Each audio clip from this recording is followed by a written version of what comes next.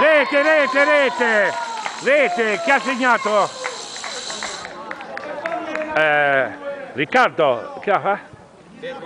Perrucci Nicola ha realizzato il secondo gol almeno della bandiera, 5 a 2 fino adesso il risultato, 5 a 2.